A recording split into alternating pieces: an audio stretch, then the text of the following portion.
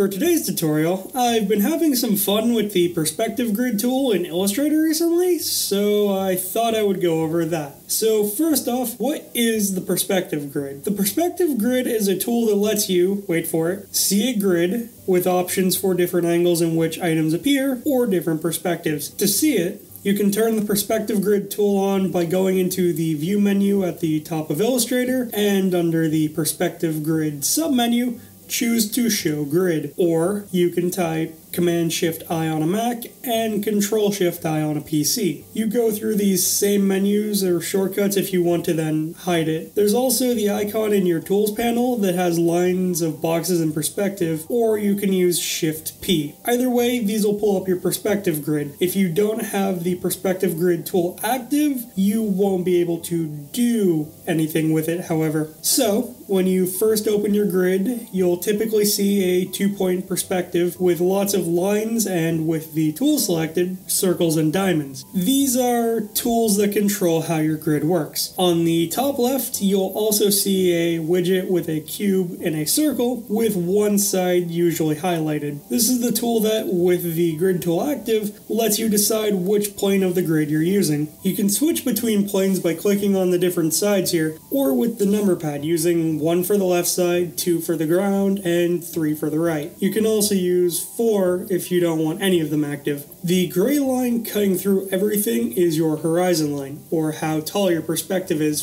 from your ground plane. On either side of this line, there will be a small white diamond which you can drag up or down to change the height of that.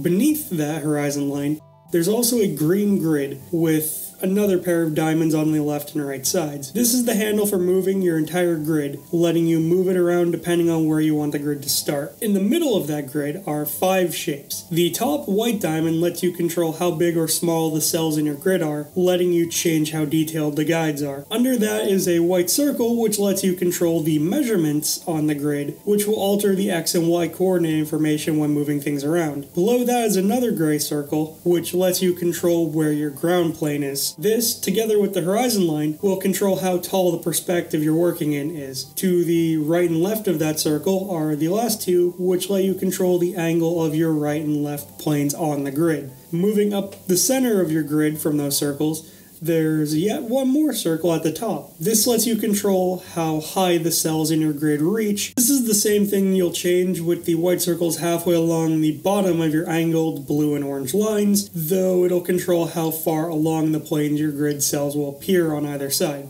Lastly, the circles where the angled blue and orange triangles end are what are known as your vanishing points. This is another way of controlling the perspective's angle and depth. These are controls you can use regardless of which grid you're using. Speaking of, the tool does come with more than what you're seeing. It comes with three built-in perspectives and the option to define your own custom grids as well. To start with, there's one point perspective. This is a perspective where there's only one vanishing point. The vanishing point, by the way, is the source for all your lines in an image, typically with a triangular tunnel coming out of it. As things get further from your eyes, in real life and in art, they get smaller and closer together the closer to that vanishing point they get. One point perspective is usually used for things you're looking at head on, such as looking at a cube or the wall of a building, or when something's long enough that it obscures your vision of anything else, like a railway track or a roadway. Next up, the default for the perspective grid tool is the two point perspective. This is a type of perspective that works the same way as one point perspective, but with two vanishing points instead of one. They tend to be more angled views, showing the left and right side of an object or scene together. Uh, for example, this is what you're seeing if you're standing on a city sidewalk and can see down both sides of intersecting streets from where you are.